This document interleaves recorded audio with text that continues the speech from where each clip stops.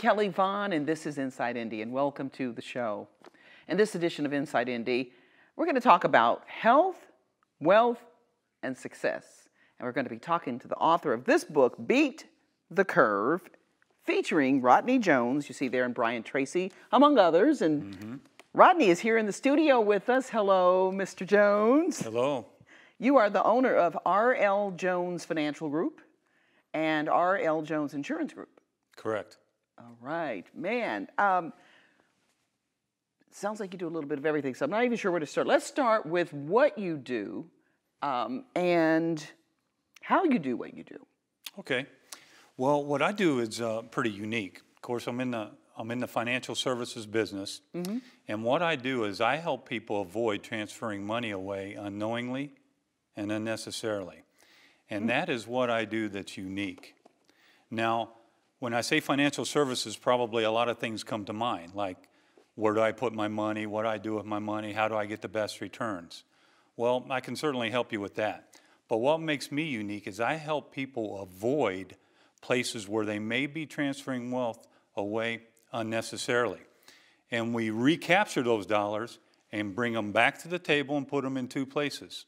We put the lion's share in your accumulated assets so that your future is more solid, but we also put some into your uh, lifestyle so that the journey along the way is a pleasant one. Mm. And that is what I do that's unique. Okay, okay. And now, when you even say the word transfer, mm-hmm. explain mm-hmm. that to people because, uh, and I know nothing about investing, insurance, and so, and, and, I'm sure there are other people out there who are like me who are pretty new to this whole thing.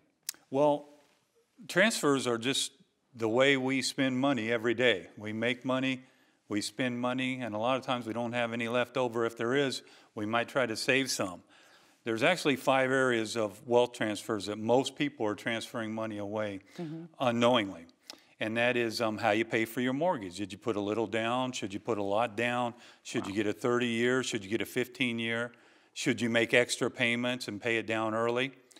Uh, how you pay your taxes, how you fund your qualified plans, how you going to pay for your kids' college, how you pay for major capital purchases like financing a car or, or weddings or vacations or things like that. What I have found is those are the five areas where most people are transferring away money unnecessarily, and those dollars are lost and gone forever. And I got the very unique uh, ability to find those areas and bring that money back to the table so that their, their future is more bright. Okay, now one thing I am familiar with, and we'll start with that one because uh, and, I'm, and most everybody, unless you're renting, has this a mortgage. Okay. So how are we transferring money away and not getting it back when we're investing in a home? Because a lot of people think that is a you know a sure way to invest. It's solid. You get a return on your investment. It's not necessarily like a car where it depreciates. And you say what about mortgages? Well, every situation is different, but most people, and we grew up believing and we were bombarded with the financial institutions telling us that we should always pay our house off early and put down a large down payment on your house so that your, your payments are, are, are smaller. Well, when you put a large down payment on a house, uh, let's just take a $100,000 house and you put $25,000 down, uh, you didn't have to, but you decided to do that to keep your payments down. Well, once you give that $25,000 to that mortgage company, that money's lost and gone forever. Is it earning any interest for you? No. Are you get, able to use that money and do anything with it? No. Where if you were to put a smaller down payment down, keep your 25,000, put it into an account that's going to gain money for you, then you've got control of that money instead of giving it to a mortgage company where you've lost all control of that money. Well, I think most people, go ahead. Go ahead. Uh, well, the term for that is called opportunity cost. The definition of opportunity cost is if I had to pay a dollar, say in taxes that um, I didn't have to pay, I not only lost that dollar, but I lost what that dollar could have earned for me mm-hmm. if I'd have been able to keep it.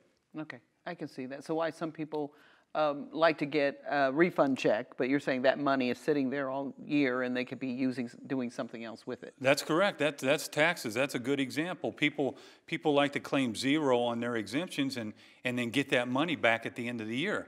Well, that whole year, did the IRS, did they pay you interest on that money? No. Do you normally have to pay a CPA or, or a tax accountant To get that money back for you? Yes. Where I encourage people, take that money up front, put into your lifestyle. You could have gained interest off that money all, all the 12 months instead of claiming zero and giving it to the government, and then you got to pay somebody to get it back 12 months later or the mm-hmm. next year. Now, I think what a lot of, why a lot of people do that is because we're not disciplined enough to save.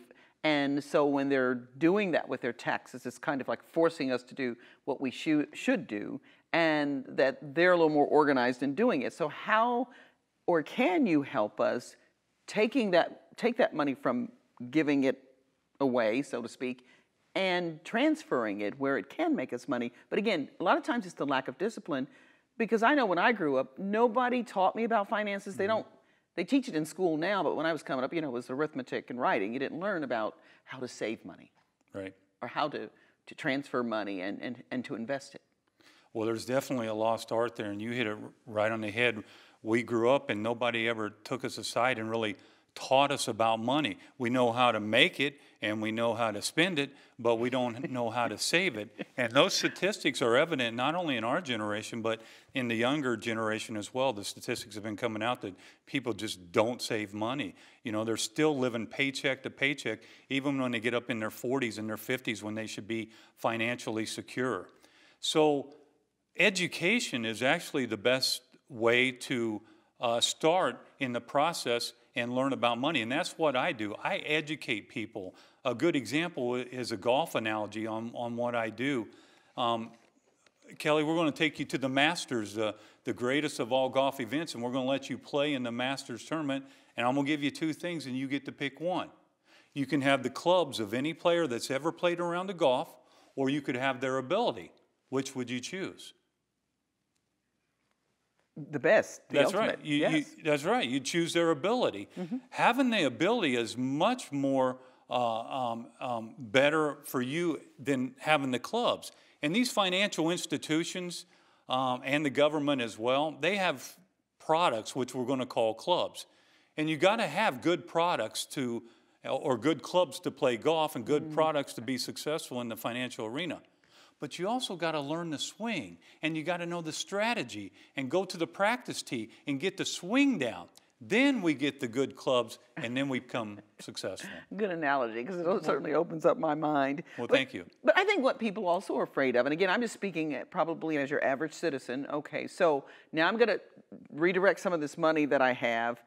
I think some of us think though we don't really have a lot of money, and it's it's okay after I pay everything, I don't really have a lot, and you don't invest that amount of money. So I think they just don't think it's worth it because they feel they won't have enough left over to transfer. Okay? You say what? You hit it on the nose earlier. Uh, it's really about discipline. Are you kind the kind of person that spends money and then if there's any left over, I'm going to save some? Or are you the kind of person that I'm going to save some money for my future and then I'm going to spend what's left? There's two types of people. Most of the people, they make their money, they spend their money, and if there happens to be any left over, I'll put a little bit aside for my future. And that's why we're in such the mess that we're in. We need the discipline and we need the products and we need the education to know that our future is coming and we need to plan for our financial future as well as live a good lifestyle while we're living today. So you're saying your first payment should not be your house payment, it should be to yourself. That's correct. Should be to your future, to your retirement. Wow.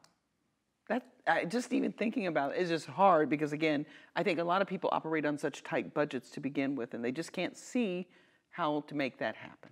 That's eh where I come in. Okay. I help people with that. Okay. So now walk us through what how you help people and what you offer. What what does that feel like? What does that look like? If I come to your office and I say, okay, look, I just feel like I don't have enough money Okay. to, to save. I don't know where to begin. What do you do? Well, it's back to what I told you, what makes me unique. Instead of trying to find ways, Kelly, where we need to cut your lifestyle down a little bit. Maybe you don't need to buy this. Maybe you don't need to buy that. Maybe you could cut out going to Macy's, and then we're going to have a little bit of money to save for your future. I find the areas on your everyday spending uh, and recapture those dollars so that you don't have to change your lifestyle. We'll just find a, a good analogy of this is if you've got a bucket with holes in it, the first thing we need to do is plug the holes. And so if I can find areas where you're transferring money unknowingly and unnecessarily, like on your mortgage, your taxes, how you fund your 401k, how you're going to pay for your kids' college, how you purchase your cars, if we can find that money that's going out the door and lost forever, forever, recapture those dollars and bring them back, now we got some money we can put into your future. And it doesn't change your lifestyle at all. Most financial planners will talk to you about, well, Kelly, let me see, you need to cut out this, and uh, maybe you should just take one vacation a year instead of three. That's not what I do. I'm not here to help you reduce your lifestyle. I'm here to help you have a better lifestyle. Mm, okay, okay, which is your book uh, talks about health, wealth, and success, and we'll talk about those and more when we come back.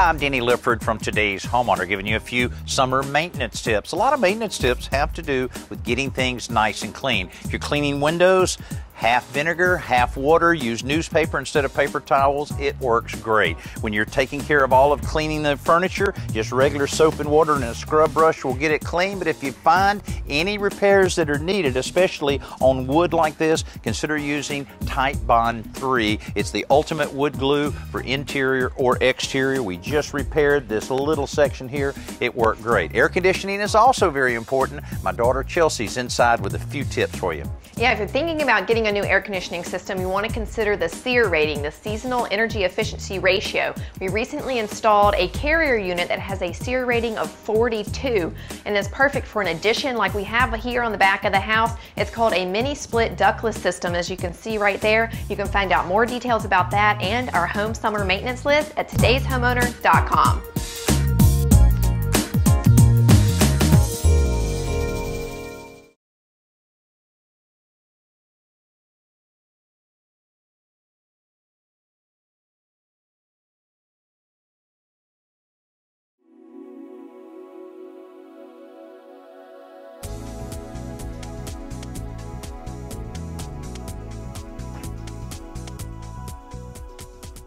And we're back here on Inside Indy, and we're talking to uh, financial guru, insurance expert, Rodney Jones, and he's also uh, featured in this book, Beat the Curve Health, Wealth, and Success. And that's what we're talking about on Inside Indy today.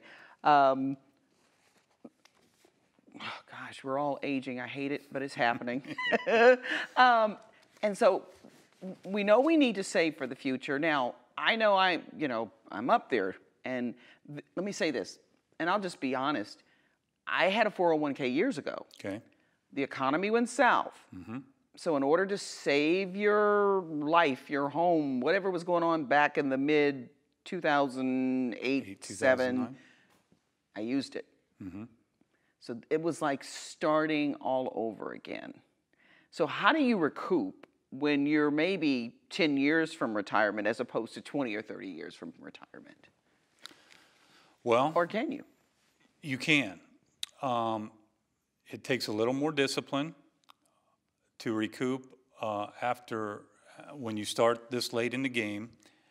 But um, there are products out there that will help you that can get you a good return that can help you recover from uh, a situation like that.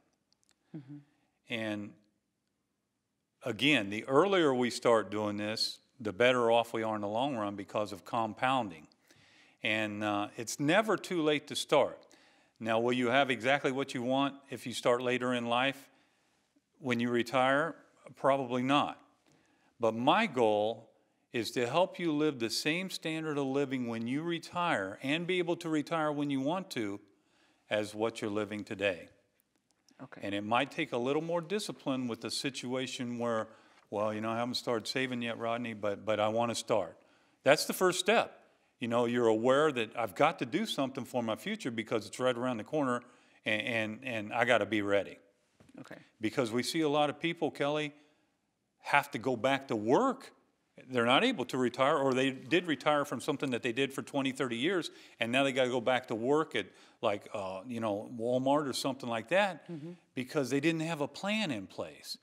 They didn't fail to plan, they just, or they didn't plan to fail, they just failed to plan. Right, right. So this a concept of a paycheck for life. So Okay. this, this uh, how does that happen? And, and- and is that what you're saying in terms of for the rest of your life you're getting that you're living that on that same level that you did as you worked when you worked? You can.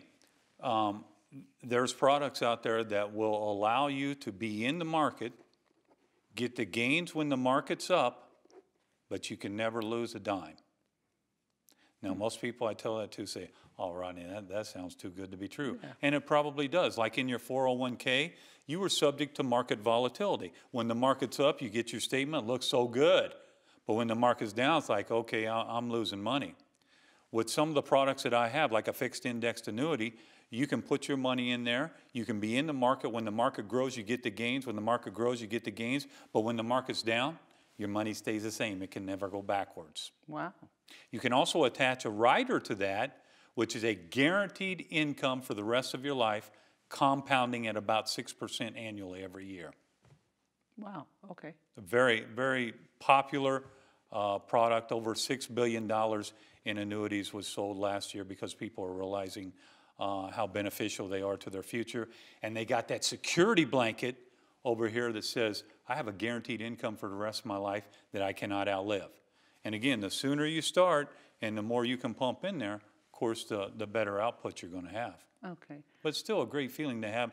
I call it sleep insurance. You go to bed at night, and no matter what the market's done, your neighbors are complaining because they've lost money. You haven't lost a dime. Okay. Now, so when you're deciding and- and you're still working, is- it best to work with an individual like you, or a lot of people are doing it through their jobs? Okay. So you say, what about that?